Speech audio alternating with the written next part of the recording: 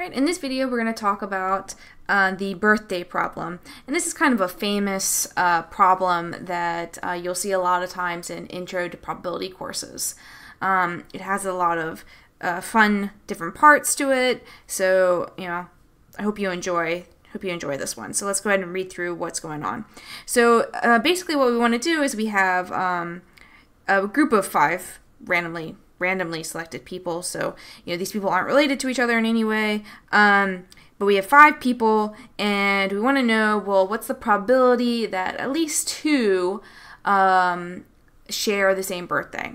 Okay, so here is a key phrase we want at least two that share the same birthday.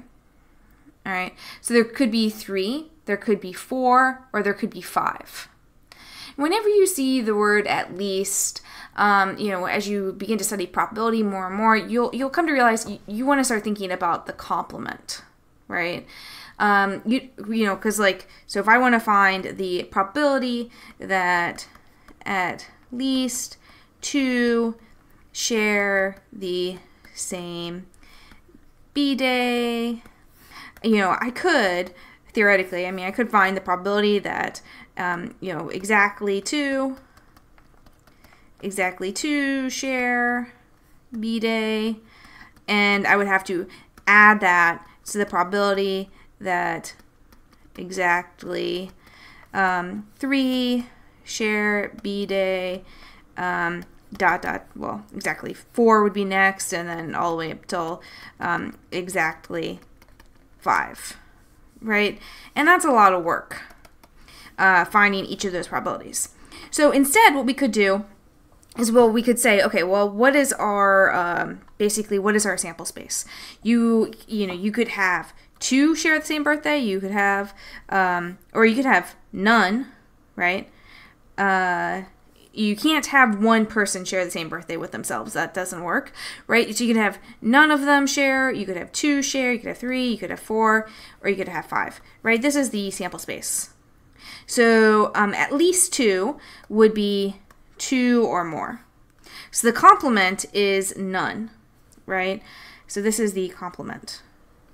Right, and the total probability is one. So the probability that at least uh, two share same um, B day using complements, and again, whenever you see the word at least, you should always be thinking about complements.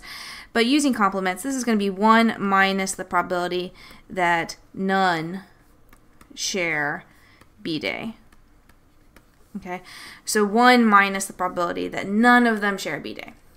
So basically, what do I need to know? I need to find, well, really, this is what I want to know. What's the probability that none share a B day? Okay, so what is this?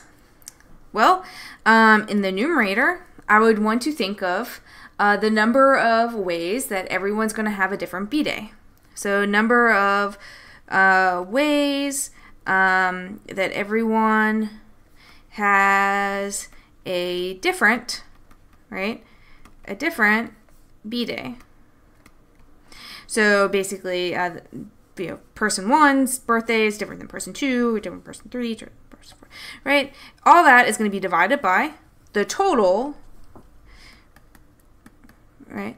The total uh, number of birthday uh, combinations, right? So the num- total number of, um, you know, birthdays possible. Okay, so um, yeah, I just now I need to calculate the numerator and the denominator and I will figure out what that probability is. Alright, so first let's go ahead and start with the denominator, the bottom. So the total number of birthdays possible right? And this is uh, straight up a multiplication rule um, or multiplication rule uh, counting method, right? Where the first person can have uh, any birthday of the 365 days of the year. Um, the second person can also have any birthday of 365 times a year, uh, etc., uh, until we get to the fifth person, right? So this is multiplication rule. We have basically five different parts to this experiment because there's five different people. So this is the same thing as 365 to the fifth power. Okay. Um, so that's that is the denominator. Now what about the numerator? The number of ways um, everyone has different uh, B days. Right. So the first person can have a birthday of any any day of the year.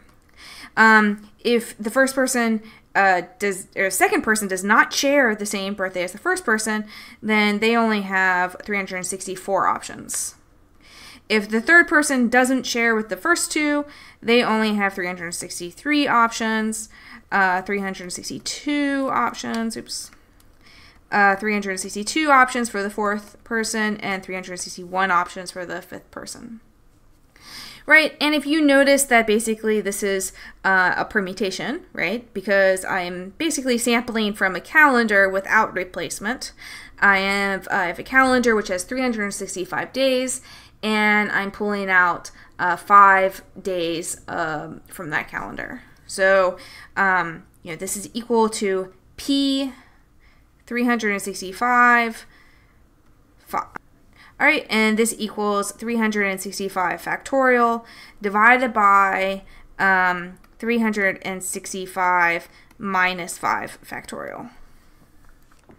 Right, so this is, of course, 365 divided by 360 factorial.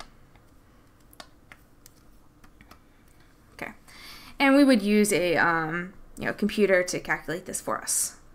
All right, so now, you know, I have, this is the numerator, and this is the denominator. So I can plug that in. Let me scroll back up here and then scroll over. So what do I have here? I have that this equals, um, basically, what was it? It was, I'm just going to write it as P uh, 365 permute 5 divided by 365 to the fifth power. Right? And so if you want to then find out the probability that at least at least two share the same birthday, you can plug this in. So kind of moving backwards at this point.